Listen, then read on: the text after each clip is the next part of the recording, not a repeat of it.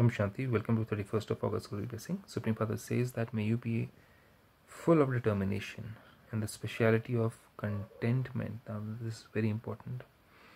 And thereby be successful in any tough paper. Contentment is the special quality of Brahmins. Once we know who we are as souls and we know the Supreme Soul and we know the whole drama, what is going to happen in the future and what happened in the past and why, with all the answers, then we are content. To be content with whatever part you have received is to make progress. Whatever part I am making or I have to play, I am content with that. Looking at other people's part, other spiritual people's part, or other worldly people's part, and I'm comparing myself with them will not make me content. No matter what happens, even if someone insults you, could be a friend, could be a family member, could be a colleague, could be anyone.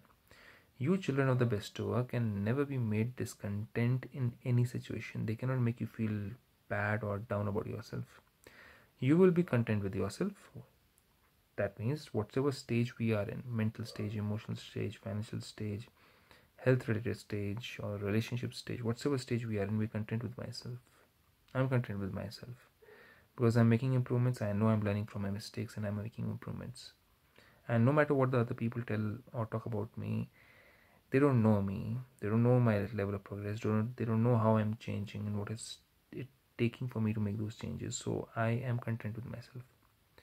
And so i'm also content with others because i know everybody has got their own capacity to change and i cannot force people. So i'm content with others also for this. Have the determination that no matter how tough the paper may be you definitely have to remain content you will then continue to be successful because when i'm content only then i can make the right peaceful choices which end up being powerful and pure. But if i am not content i'm in comparison competition i'm trying to put the other person down it's impure. And because of this impurity then there won't be any peacefulness and there won't be any good decision. And thus no success then. Om shanti